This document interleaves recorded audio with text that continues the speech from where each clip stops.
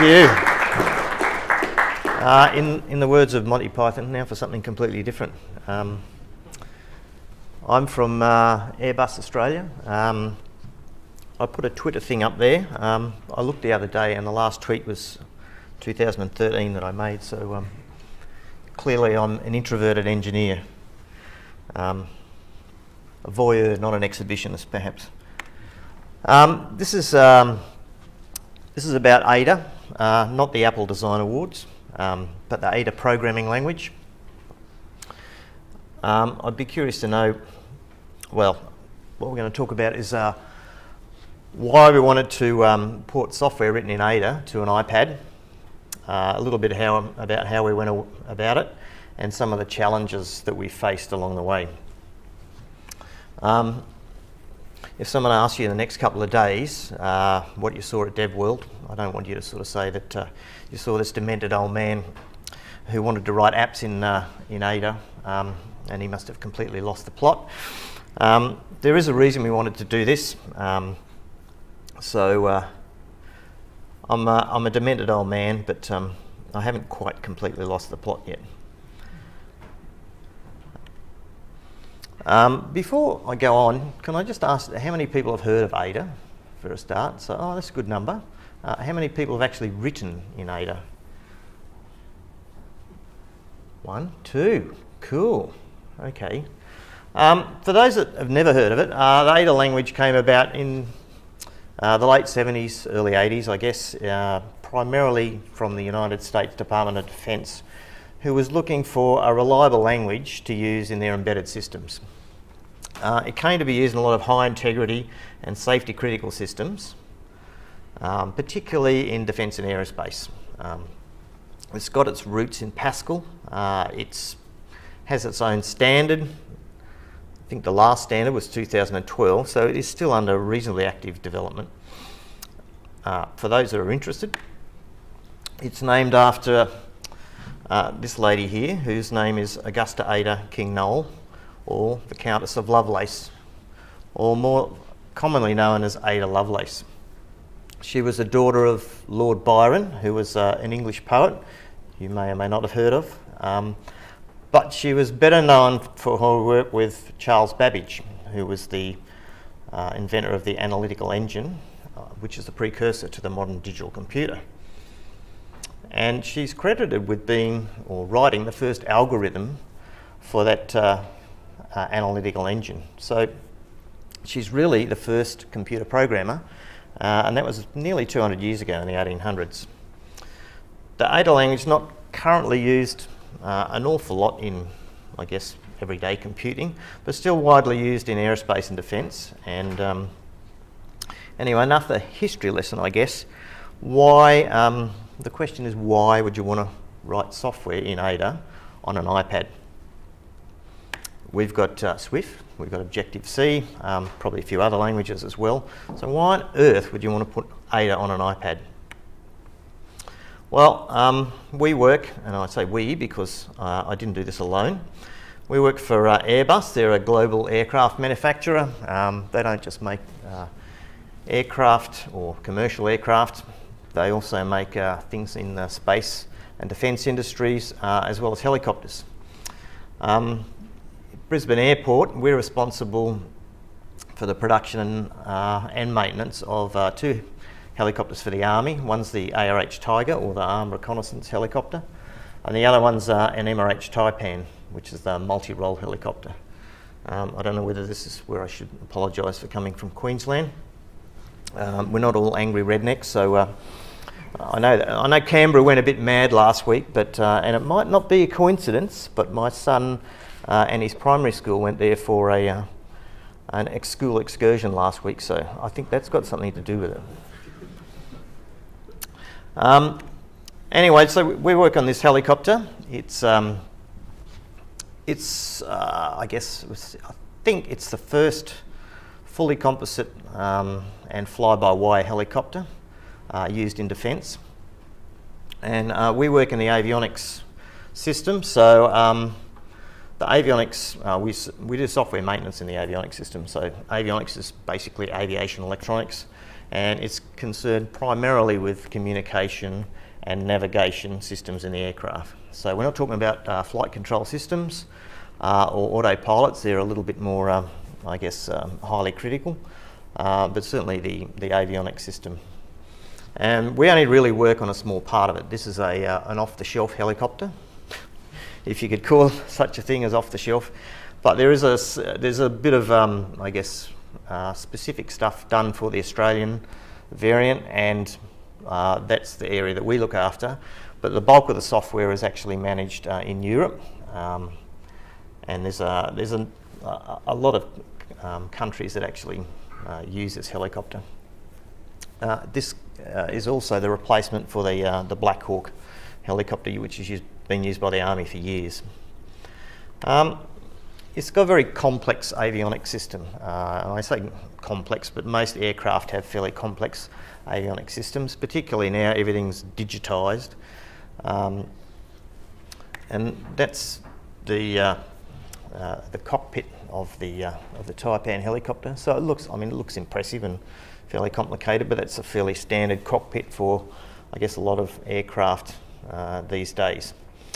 The main interface for uh, aircrew is what we call the display and keyboard unit, or a DKU. And uh, they're located in the centre console. There's one for a pilot and one for a co-pilot. And a little bit up close there, um, the DKU's got this small screen, uh, which some coloured text on it.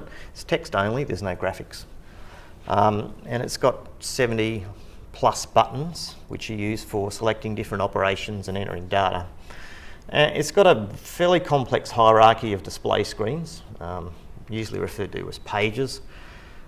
And the data entry is really quite complex as well. Um, the user experience is really crap, actually. Um, so if you went to uh, yesterday afternoon's workshop, um, there's quite a difference between using one of these and uh, what we were talking about yesterday.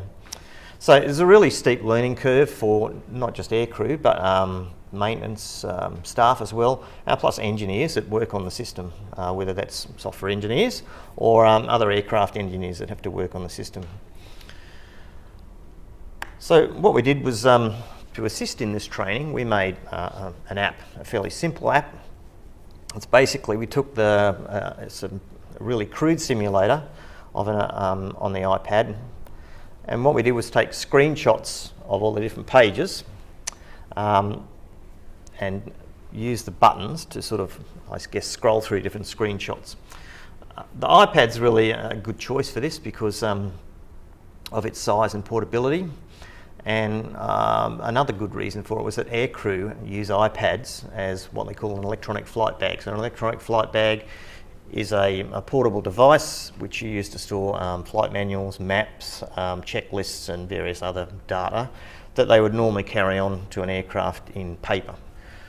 Um, so a fairly simple thing. We, uh, we had a whole lot of buttons we put on there, I don't know, something like 75 buttons. And we just had a UI image to display uh, screenshots. And it, um, when you rotate it, what we did was we drew this tree view because um, the idea was to train them through navigation of the different pages. So we put this tree view on the side and when you're um, in a certain place in the hierarchy, it'll highlight the page where you're supposed to be or where you're at. And um, it's broken up into different functional areas. So that's one tree view of, uh, I guess, a number. It's probably at least a dozen. And it'll show you where you are in the hierarchy, but also when you tap on there, you can actually go directly to that screen. Now, um, that's not how the real system works, but it helps um, with training pilots or aircrew so that they know what's on a certain screen. Um, we added another tab on there as well, which brings up flight manual data for that specific page. So that's um, and that's just rendered in HTML. Uh, we extracted the data from the flight manual into an HTML format and just put it in a simple UI web view. Fairly easy. So it's a pretty simple application. It's not very complex. Um, you push buttons, it displays screens. Um, but it's been a, a fairly valuable resource. Previously, aircrew used to have to sit through hours and hours of um, slide presentations to show them the different screens and how to navigate between different screens. And we've saved them about one to two weeks of training. Uh, also, they can take the thing back to their room or uh, practice it in their own time. And the instructors told us that when, uh, when students get to a real aircraft or uh, a flight simulator, um, they're very familiar with the system and how it works um, when they get there, as opposed to when they were uh, learning through slides.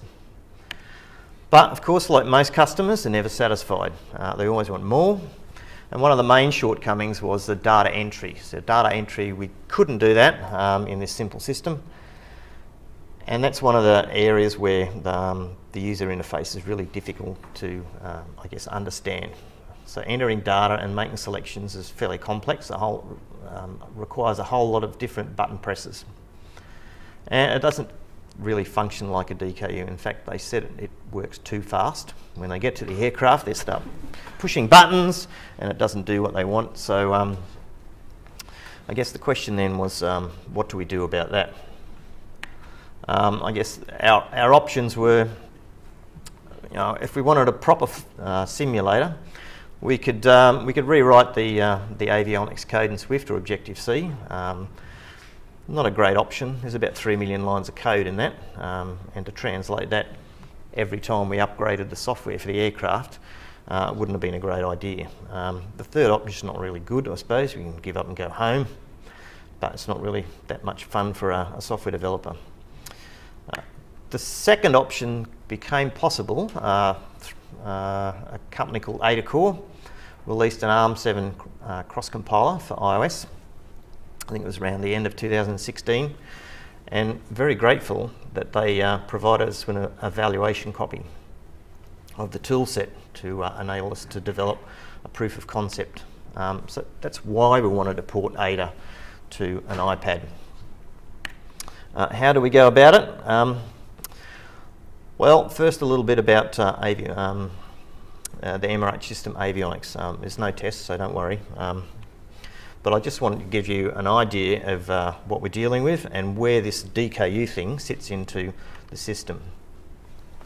So that's the um, a rough diagram of the avionics system. There's two subsystems. One we call the core system, and the other one's the, uh, and that's in orange there. And then there's the mission system, which is in blue. And uh, the HMI interface or human machine interface is down the bottom there in green, and that includes uh, this DKU thing that I've been talking about. Uh, I'm not going to go through all the acronyms, that's not important. Um, there are two ones that I want to sort of bring to your attention. They're sort of in the middle there. One's called the core management computer, and the other one's the mission tactical computer. So they're the main computer um, used in the two subsystems. All the other components that are attached to it um, they're called remote terminals, so the, the CMC, or the core management computer, and the MTC, the mission tactical computer, they basically control, each of the two subsystems, um, and all the other bits are connected on. Uh, and they include the intercom system, uh, various radios, uh, HF radios, radar, that type of thing.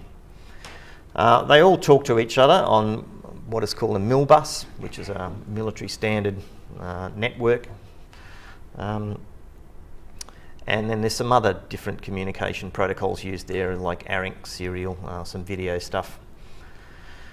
So that's what we call our target computer environment. Um, the CMC and the MTC are the two ones there highlighted, and down the bottom is the DKU. So these three talk to each other. When we do software development, um, basically they're the two computers that we uh, uh, the CMC and the MTC are the main ones that we modify and the pages that are in the DKU. So if we want to change the, the layout of the pages, we load just uh, different page sets. Um, the rest of the, um, the, the, parts of the system we don't modify and even if they do get modified, we have to modify those two anyway uh, because they control all the interfaces. So in our target environment, we have um, a much simpler system. We can uh, run the CMC and the MTC and the DKU um, in our host environment, sorry. And we connect this to a little front end written in C, so we can display on the screen a, a mock-up of the DKU page. Um, and the communication here is done through TCP/IP networking. So we replace the MIL bus with a TCP/IP networking. There's a little bit of, um, uh, I guess, code written in uh, all those uh, three main systems there to um, implement that TCP/IP networking um, in the host side of things. Um, but this is much easier to use in the target environment because loading up the target can take up to 40 minutes or uh, in the old system it used to take a couple of hours. Um, we can, uh, you know, it provides a really good way of testing the CMC and the DKU and the MTC and how they fit together. Um, and we can run a basic simulation of the full avionics system by using canned data. So we don't really care what the data is, we're concentrating more on the communication between those three components. Um, now, in the host environment, someone had already ported um, from our Unix system to Windows using uh, an AdaCore tool, uh, which is a GPS um, compiler set, uh, GNU or GNAT Programming Studio, I think it's called, and GNAT stands for GNATA um, tool set, I think. Yes, GNATA ADA tool set. Um, this was already done by one of our colleagues a few years ago, so we had this thing actually running uh, in a Windows environment. So the steps to get it to work on iOS, um, we decided not to go straight to iOS, so we thought we'd go to um, Mac OS first because it might be easier to sort out some of the issues, um, particularly going from 32 to 64-bit architecture, developing the TCP/IP networking in an Apple environment, and um, if we had it running on Mac OS, it'd be a little bit more confident that we could move it to iOS. Um, the only thing we really had to do was do the front end um, and write the TCP IP networking stuff.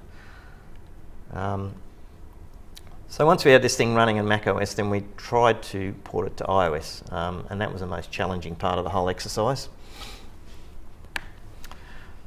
To do that, um, so I guess when we execute in macOS, um, the CMC and the MTC can be run as separate executables. So you can open up a terminal, start the CMC, start the MTC, start the DKU, and then run an application, uh, which is the display, and then it can talk to all those things um, via the TCP/IP networking.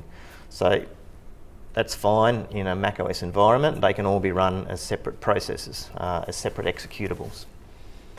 Um, the problem is uh, we also left out the MTC because it's got uh, restricted code in there, so, and our development environment wasn't restricted, so it's an unclassified network, so we had to leave that out. But anyway, um, to do that in iOS uh, is not possible. Um, you can't run separate processes, I don't think, um, in iOS because of the sandboxed application.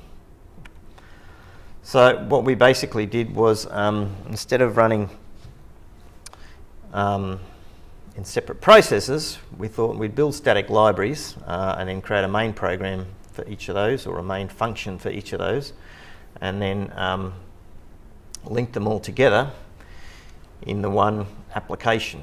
So, and then we could run the CMC and the MTC as separate threads in this application. Um, This is, uh, this is possible because you can get uh, the ADA to talk to the Swift via um, sort of bridging headers, I guess, and vice versa. We can get Swift to talk to ADA. Um, so we can actually communicate between the two languages if necessary. Um, they both use C calling conventions if, uh, if they want. So to go from, uh, uh, I guess the main issues in translating from Mac OS to iOS was um, building the CMC and the MT um, and the DKU static libraries um, instead of uh, separate executables. Um, we start the main functions in separate threads. Um, one of the problems with this approach is that um, the CMC and the DKU share some low-level functionality, so they have the same function names at lower level. So I had to do a whole lot of refactoring to prevent name clashes there. Um, so when you compile it all into the single executable, um, yes, there were all sorts of funny things started happening.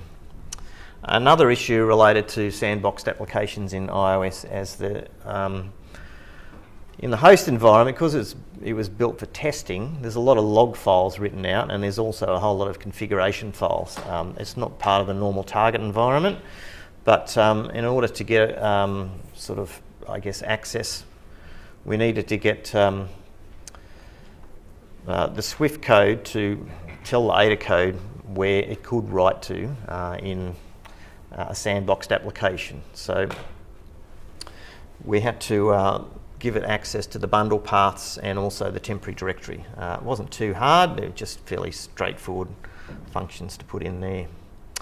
Um, so we ended up with an Xcode project uh, which had the simple DKU front end uh, and the network interfaces and we managed to get it run on an iPad um, and, the, and the simulator as well. Uh, it works um, just.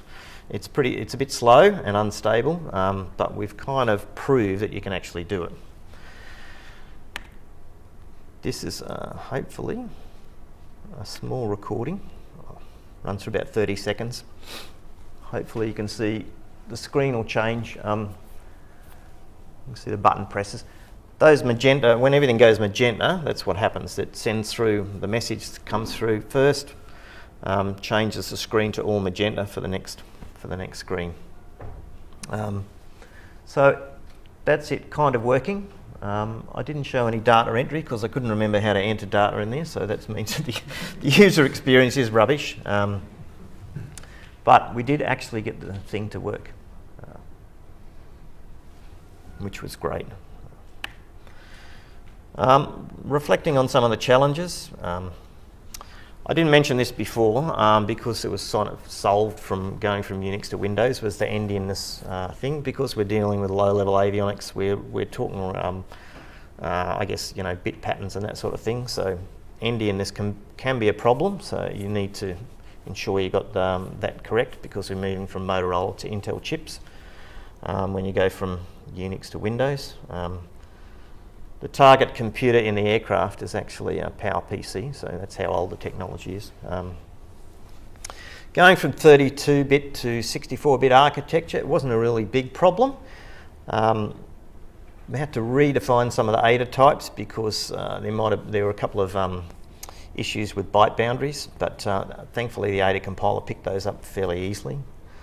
Uh, the biggest challenges were with a sandboxed application moving, um, moving to threads wasn't in itself a big deal, but because we had to refactor a whole lot of names for functions uh, in across the different code sets, um, I guess that's the disadvantage of taking something that was originally written uh, for a host testing environment and trying to um, pigeonhole it into a, I guess, a target application. And also providing access to the uh, file system debugging was a real was a bit of an issue as well. Um, you can get into the Ada code uh, in the Swift debugger eventually, somehow. Sometimes it gets in there, and you can actually set breakpoints in there, which is another curious thing. Um, but it's very hit and miss.